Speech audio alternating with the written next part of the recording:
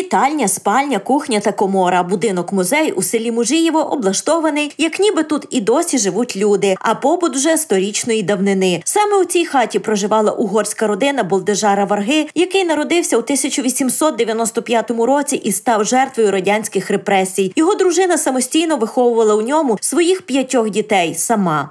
Дуже важливо, що нам вдалося зібрати від старожилів автентичні меблі, посуд, відтворити елементи побуту, аби зберегти первісний вигляд будинку. Мета музею садиби зберегти сільські традиції та культуру закарпатських угорців. З історичного боку важливо передати їх своїм нащадкам, показати, як жили наші предки без техніки, без інтернету і телебачення. При цьому дуже красиво. Аби привабити туристів на подвір'ї влаштовують різноманітні дегустації та майстер-класи. Так знайомлять відвідувачів музею з традиціями виноробства, сироваріння, приготування бограчу тощо, або ж як зараз демонструють закарпатські лекварі. Самого ліпше е, леквар е, е, із стародавнього сорта самого мелкого сливи. З цього, е, із цього ви не можете вибрати кісточки, так що його раз почнуть варити в казані. Коли вони відя- видаляються від кісточки, цей леквар вони будуть пе- пере, як кажуть, е, перецідити на, на такі е, е, мисці. е, щоб видаляти ці кісточки і починати варити вже особистий леквар. Такому казану постійно треба його е, комусь е, мішати, тому що е, він може злипнути. Це дуже хороша сімейна справа. Всякий час е, прийдуть сусіди, всі друзі, і постійно хтось, е, хтось е, мішає цей леквар.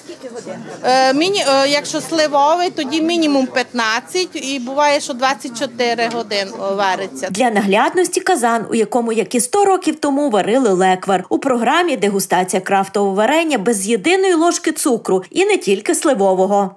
Ви знаєте, в мене прізвище вишневий, і тому ну і по цій причині також мені найбільш сподобався вишневий джем. Я його такий леквар вишневий вперше в житті їм. Вже зайшов, і тут е, дуже насичений смак, і відчувається е, присмак е, прикопченого. Є.